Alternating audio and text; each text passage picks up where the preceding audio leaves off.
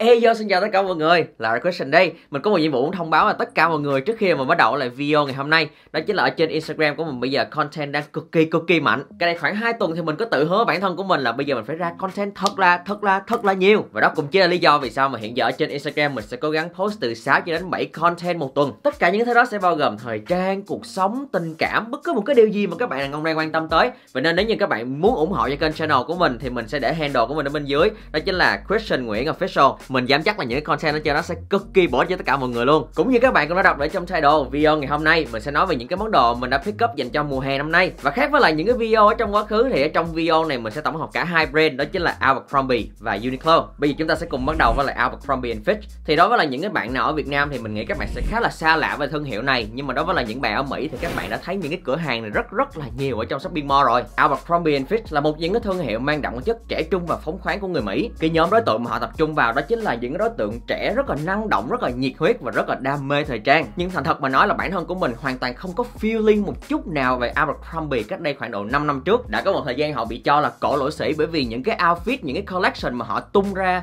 thường xuyên dành cho những cái độ tuổi cao hơn một chút xíu, ví dụ như là từ 25 cho đến 30 tuổi. Nhưng mà trong năm vừa rồi Abercrombie Fitch đã có một cái sự rebranding rất là mạnh mẽ, tập trung vào những cái đối tượng trẻ trung hơn, ví dụ như là từ 16 cho đến 25 tuổi. Và đó chính xác là cái nhóm đối tượng hiện giờ đang xem kênh channel của mình. Vậy nên mình cảm thấy không có cái gì thích hợp bằng mà nói cho các bạn nghe về những cái món đồ mà họ mới ra cả. Đây chính là món đồ đầu tiên mình muốn nói mọi người. Đó chính là một chiếc áo polo tee. Thật sự phải nói, đây là một cái chiếc áo polo nhìn rất là hay, bởi vì cái màu nâu của nó nhìn rất là ô money, kết hợp với lại những cái họa tiết knit blend nữa.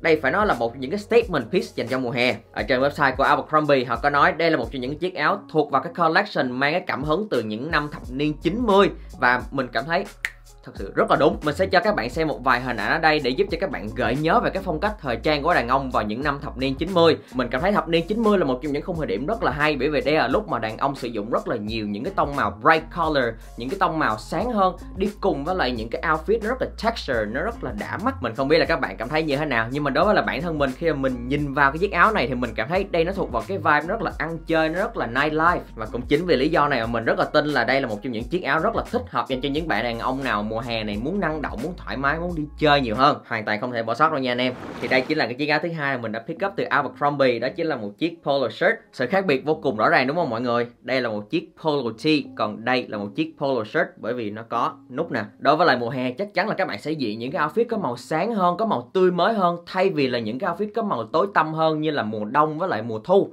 Và chiếc áo này đã đạt đầy đủ hết tất cả những cái điều kiện đó. Một chút họa tiết sọc kẻ đi cùng với lại những cái tông màu rất là tương phản. Ví dụ như là màu trắng, màu nâu, màu kem. Đi cùng với lại cổ Johnny. Một chiếc áo thật sự rất là đáng pick up một trong những cái điểm mạnh mà mình nhận ra ngay từ những cái chiếc áo này đó chính là độ linh hoạt rất là cao. Nếu như các bạn thích, các bạn có thể mặc thêm một chiếc beater ở bên trong rồi khoác nó bên ngoài hoặc là các bạn cũng có thể mặc nó y như là một cái chiếc áo sơ mi tay ngắn vậy đó. Và chính từ cái sự linh hoạt này cùng với lại một cái pháo màu rất là đặc biệt, rất là mùa hè đã khiến cho nó trở thành một trong những cái món đồ cực kỳ yêu thích của mình ở trong collection lần này. À mà có một điều mình muốn nhắc đến nữa, đó chính là cái cảm giác cầm trên tay rất là đã. Mặc dù đến từ cùng một collection, nhưng mà chiếc áo này nhẹ hơn rất là nhiều và đó cũng chính lý do vì sao mà chiếc áo này có một cái độ rũ nhất định. Còn trong khi cái chiếc áo này, khi mà các bạn mặc lên, các bạn sẽ cảm thấy cái phần tay của nó rất là đứng form. Khoảng cách về giá cả, hai chiếc áo này là khoảng 6 đô la, chiếc áo này là 49 đô la còn chiếc áo này là rơi vào khoảng 55 đô la. Và nếu mà chỉ lựa chọn một chiếc thôi á mình sẽ lựa chọn chiếc này.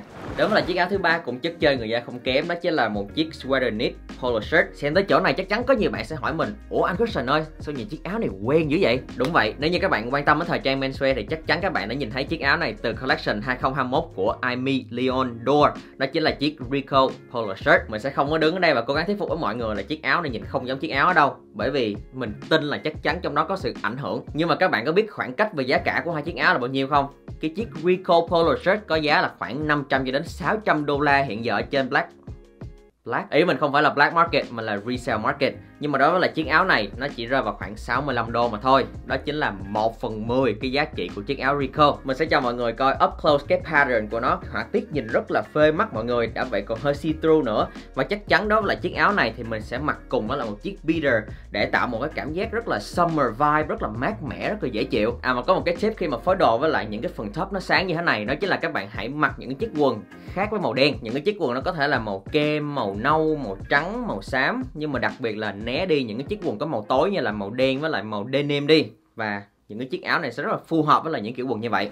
Đến với lại món đồ tiếp theo mình đã pick up trong lần này, đó chính là một chiếc Varsity Bomber Jacket. Không phải bởi vì nó là mùa hè mà các bạn không phải chịu những cái tác động của mưa, của gió, của nắng và những cái chiếc áo như thế này được sinh ra dành cho mùa hè. Lớp bên ngoài của những chiếc áo này sử dụng chất liệu windbreaker và water resistant, có nghĩa là chống mưa, chống gió, chống nắng. Cái form của chiếc áo này là form oversize, nhưng mà có một cái điều mình rất là thích, đó chính là cái chiều dài của nó không có quá dài. Và khi mà mình mặc vào nó chỉ nằm ở nghe eo của mình thôi. Mặc dù không phải crop nha, thành thật mà chia sẻ với mọi người, lý do mà cho đến thời điểm hiện tại mình vẫn chưa sở hữu một chiếc varsity jacket nào là bởi vì mình cảm thấy không có một chiếc varsity jacket nào nó phê bằng chiếc teddy của YSL cũng như là cái chiếc của Celine cả nhưng mà đến khi mà mình sở hữu chiếc áo này thì mình đáng suy nghĩ lại. Chính vì cái điều đó làm cho mình thích cái chiếc áo này hơn rất là nhiều.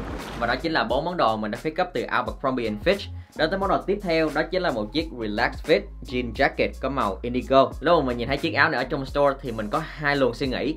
Thứ nhất là mình đang có một chiếc quần indigo và mình muốn mua cái chiếc áo này về để phối phong cách Canadian tuxedo. Các bạn đã bao giờ nghe đến Canadian tuxedo chưa? Nếu như mà các bạn chưa nghe đến thì nó cũng gần gũi với mọi người lắm. Mọi người còn hay gọi nó là jean on jeans. Đây sẽ là những cái outfit mà các bạn nhìn thấy cả phần trên và phần dưới đều dùng chất jean. Một cái outfit rất là mạnh mẽ, rất là đàn ông mà rất là nhiều các bạn đàn ông hiện giờ đang thiếu sót. Nhưng đối với lại Canadian tuxedo thì có một điểm rất là tricky nha. Đó chính là các bạn phải phối jean ở trên và jean ở dưới có cùng một tông màu. Mình nhìn thấy có rất là nhiều bạn cũng phối Canadian tuxedo đó và các bạn cũng hiểu được rằng là cả trên và dưới đều phải là chất jean.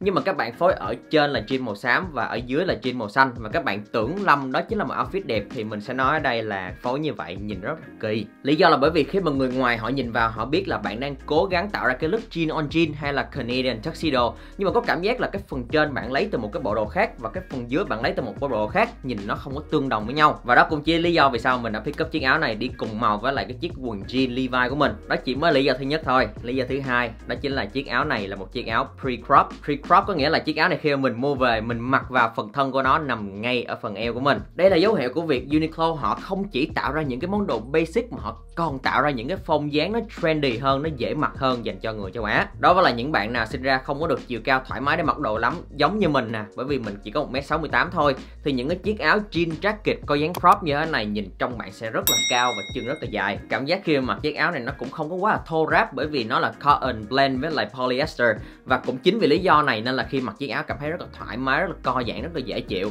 Và đối với là một chiếc áo mà đạt hết tất cả những cái nhu cầu mà mình đang cần tìm kiếm từ một chiếc jacket thì chắc chắn là mình phải mua hai cái rồi.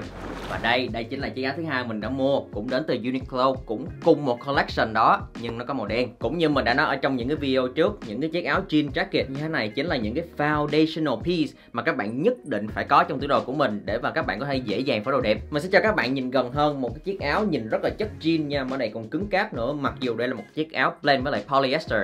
Bởi vì có một cái vấn đề mà ở trong quá khứ mà mình đã gặp phải, đó chính là khi mà mình mua những cái chiếc áo jean jacket phối với lại không phải phối với lại, mà là blend với lại polyester. Thì có cảm giác của nó nhìn rất là plastic, nhìn rất là cheap. Và đó, vậy nó có một cái độ rũ chảy sệ xuống trong cái khoảng thời gian mặc nữa. Mình nghĩ đây sẽ là chiếc áo mà cực kỳ worth với lại cái giá tiền mình bỏ ra. Còn các bạn nghĩ như thế nào? Ok, và đó chính là tất cả những cái pick up của mình để chuẩn bị cho mùa hè sắp tới. Chỉ còn võng vẹn chừng vài tháng nữa thôi. Các bạn nghĩ sao về những cái món đồ mình đã pick up ở trong video này? Nhớ comment cho mình biết ở bên dưới nha. Mình sẽ trả lời hết tất cả những comment đó để mà anh em mình có thể giao lưu với nhau. Đồng thời các bạn cũng đừng quên follow kênh instagram của mình nha. Bởi vì tất cả những cái outfit này mình cũng sẽ post những cái look khác với lại những cái look mình đã để trong video này để cho mọi người xem và giải trí. Video của lần này là hết rồi. Hẹn gặp lại tất cả mọi người ở trong video tiếp theo nha.